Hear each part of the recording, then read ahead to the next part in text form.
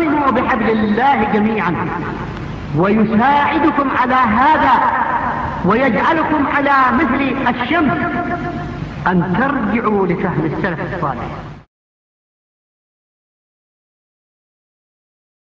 الله يقول فقلت استغفروا ربكم إنه كان غفارا يرسل السماء عليكم مدرارا ويمددكم بأموال وبنين ويجعل لكم جنات ويجعل لكم أنهارا.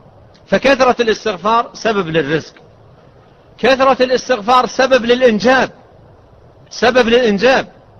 وأنا أروي هنا قصة لما فيها من فائدة وما كنت لأرويها إلا لذلك. آه، قبل فترة طويلة جاءني شخص من البادية من أهل المدينة. لقيني بعد الصلاة عند باب المسجد. وقال لي أنا متزوج منذ أكثر من ست سنوات ولم يحصل لي ذرية وأنا متقطع ومتألم وفي شوق للأولاد ورغبة شديدة للولد. يقول فأنا في, في, في, في شدة لا يعلمها إلا الله سبحانه وتعالى. فيقول يوم من الأيام في صباح الجمعة قمت في الصباح الباكر وأنا متضايق جدا من الوضع الذي أنا عليه. يقول انفجرت على أهلي في البيت وألقيت اللائمة كلها عليهم.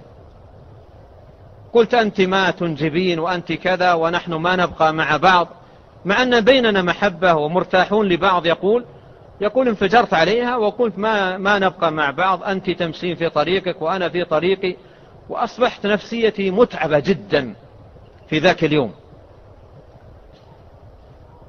وخرجت من البيت لأصلي الجمعة وزوجتي في البيت تبكي من المصيبة التي ألمت. وتنتظر أنني آتي بعد صلاة الجمعة لأطلقها وأفارقها وأن تكون هي في سبيل وأنا في سبيل. يقول خرجت لأصلي الجمعة. ومررت ببعض المساجد كل مسجد أريد أن أصلي فيه. يقول تنصرف نفسي إلى أن جئت يقول وصليت معك. أنا في أحد المساجد أصلي الجمعة إماما. يقول فصليت معك فكانت الخطبة عن الاستغفار. كانت الخطبة ذاك اليوم عن الاستغفار وفوائد الاستغفار.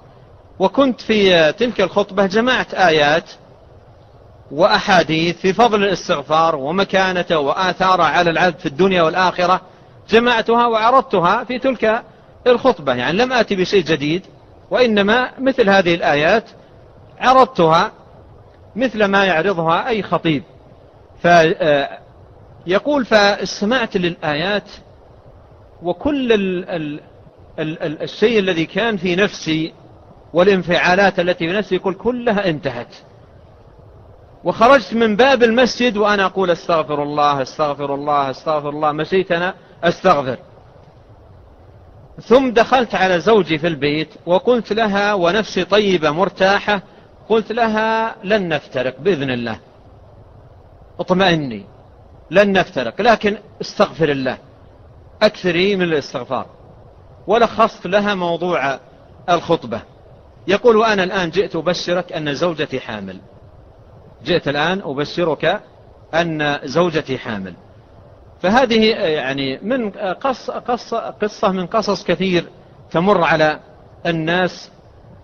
فينبغي على الإنسان في أي أمر وأي مصيبة تواجهه من فقر من عوز من دين من عقم من إلى آخره أن يستقبل الاستغفار. فقلت استغفروا ربكم إنه كان غفارا يرسل السماء عليكم مدرارا ويمددكم بأموال وبنين ويجعل لكم جنات ويجعل لكم